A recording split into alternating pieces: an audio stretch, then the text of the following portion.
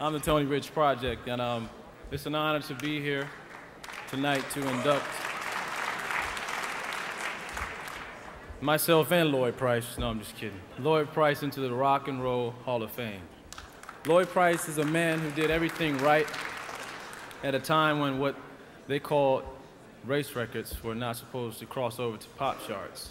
Lloyd wrote Lawdy Miss Clawdy and taught taught the kids a lesson they never forgot. That record still sounds pretty ram today. Can you imagine what it must have sounded like in 1952?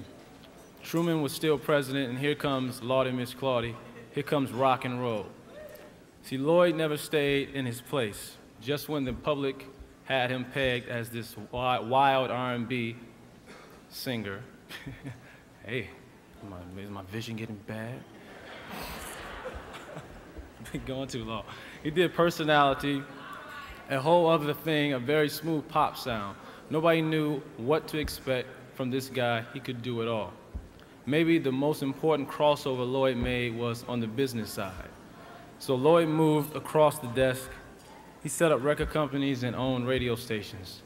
And did you all know that Lloyd, myself, and Don King put together the Ali Foreman fight in Zaire? Y'all never knew that. I'm just kidding about Don King. It was just me and Lloyd. But uh, all right, okay, Don, you can have it. Lloyd took control of the means of productions. He's a very smart man, as we all know. I know you want to, uh, you know, get Mr. Price up here, and, but just give me a moment more. It's a little hard doing this without instruments.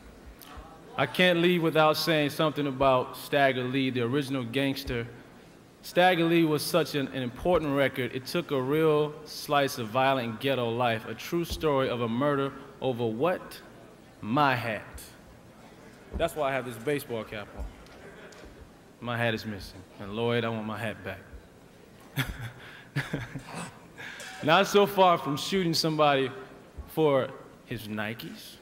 Lloyd took that true story and said, don't hide this. Don't be ashamed of this kind of music take it right out and show the world. Stagger Lee was a whole new kind of subject matter for the radio. I can't say for sure, but I kind of suspect that Stagger Lee made possible Hey Joe by Jimi Hendrix and Down by the River by Neil Young, and a whole lot of hardcore rap that Mr. Price might not want to take the rap for. It's not your fault, Lloyd. You opened the door. You're not responsible for who followed you through. But you sure do deserve a lot of credit. And on behalf of all of us who followed you in, it is my great privilege to welcome you into the Rock and Roll Hall of Fame.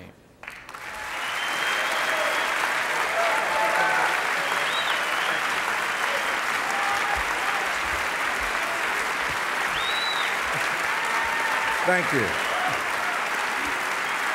Thank you. Thank you. Thank you, Tony Rich, and thank you, ladies and gentlemen. It's really, really a pleasure to be here. But if Dave Bartholomew did not have the foresight to drive out to Kenner, Louisiana, and hear me sing Lawdy Miss Clawdy, this night would have never been. And I want to thank those of you who worked so hard to, uh, to get me here tonight, you know. It's been a long time. Jack Newfield, Lance Freed, Allen Klein, Phil Spector, uh, Bobby Weinstein, Mark Freed, Allen Grubman. The list goes on and on and on and on. I want to thank you, and I want to thank those of you over the years who have supported me and my music. I appreciate it. And however, a lot of you think that I should have been here sooner. but what a night this is to be inducted with such wonderful group of people. I'm honored to be inducted tonight. And I thank you. I want to thank my brothers and sisters who are here tonight, and my lovely wife, Jackie, uh, who's here tonight. She better be here tonight. and all of you who have supported me.